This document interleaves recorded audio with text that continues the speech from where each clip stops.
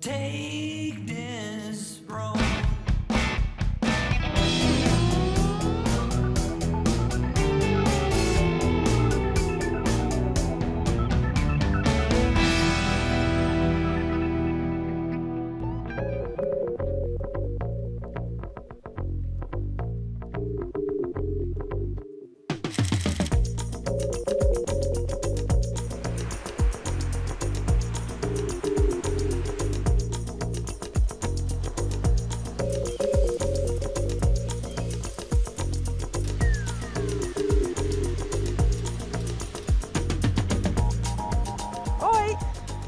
In deze aflevering van Wegwerken ben ik op de Prins Alexanderlaan met de kruising met de Prins Constantijnweg.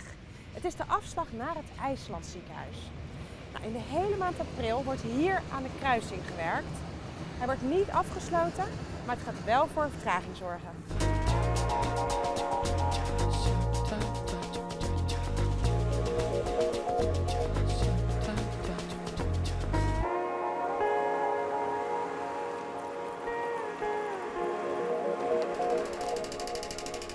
De is verouderd en wordt daarom vervangen. Nou, in het wegdek worden sleuven gevreesd voor nieuwe detectielusten. Er komt ook een nieuwe regelkast, nieuwe bedrading, nieuwe verlichting en nieuwe lichtmasten.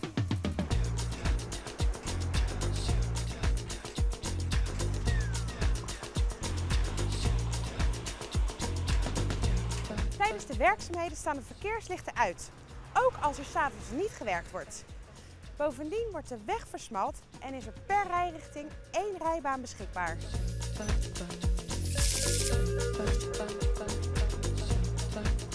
De slagbomen van deze metroovergang blijven het doen tijdens de werkzaamheden. Fietsers en voetgangers kunnen de oversteekplaats blijven gebruiken. En heel belangrijk, de hulpdiensten kunnen altijd van en naar het ziekenhuis.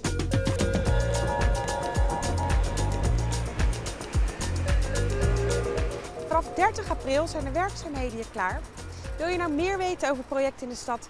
Kijk dan op rotterdam.nl en kijk volgende week weer naar Wegwerken. Tot dan, doeg!